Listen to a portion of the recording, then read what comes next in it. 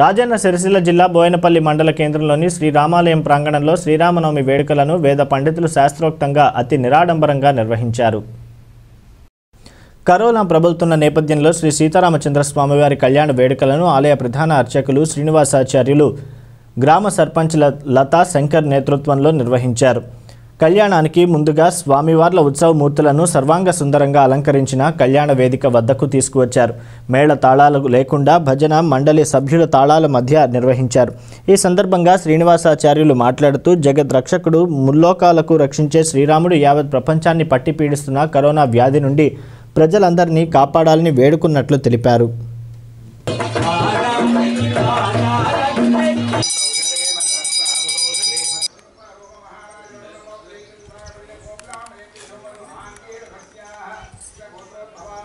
प्रदाय महादने धनम मे जुहितां देवीं सर्वकामा च ओम नमो नारायणाय नमः।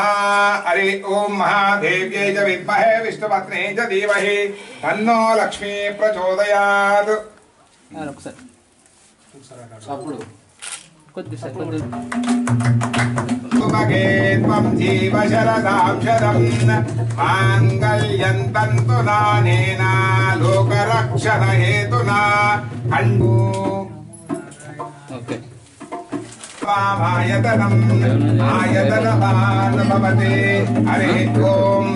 లేరు దేవుడు బోయినపల్లి గ్రామం లోపల బోయినపల్లి మండలము బోయినపల్లి విలేజ్ గ్రామం లోపల సనాతనంగా. శ్రీ సీతారామచంద్ర స్వామి దేవాలయం లోపల అత్యంత వైభవంగా శ్రీరామనవమి బ్రహ్మోత్సవాలు దివ్యంగా జరుగుతుండేవి ప్రతి సంవత్సరం కూడా అధిక సంఖ్యలో భక్తులు పెద్ద సంఖ్యలో భక్తులందరూ కూడా పాల్గొని ఈ చుట్టుపక్కల ఉన్న గ్రామాలలో నుంచి కూడా చాలామంది కూడా విశేషమైన జన వాహిని వచ్చి శ్రీ సీతారామచంద్ర స్వామి యొక్క దివ్య కళ్యాణ మహోత్సవాన్ని తిలకించి వారు చాలా కూడా భక్తులందరూ కూడా చాలా ఆనందాన్ని పొందుదురు. ఆ విధంగా ప్రతి సంవత్సరం కూడా ఎంతో కన్నుల పండుగగా శ్రీరామనవమి బ్రహ్మోత్సవాలు జరుగుతుండేవి.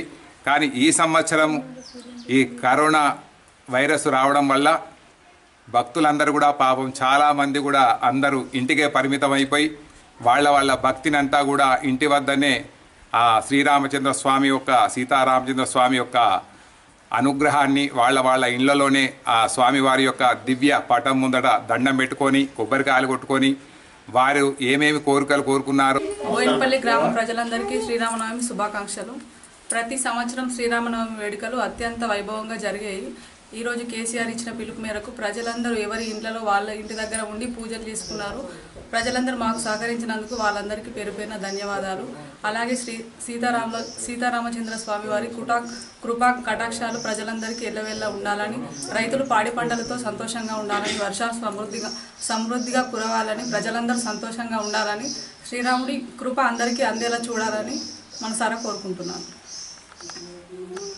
నమస్కారం. లోకరక్షణార్థం శ్రీ సీతారాముల వారి కళ్యాణము మన బోయినపల్లి గ్రామంలో ప్రతి సంవత్సరం కూడా అట్టహాసంగా అత్యంత వైభవంగా జరిగేది. బాధాకరం ఏంటంటే ఈ ఈ ఈ సంవత్సరము కరోనా వ్యాధి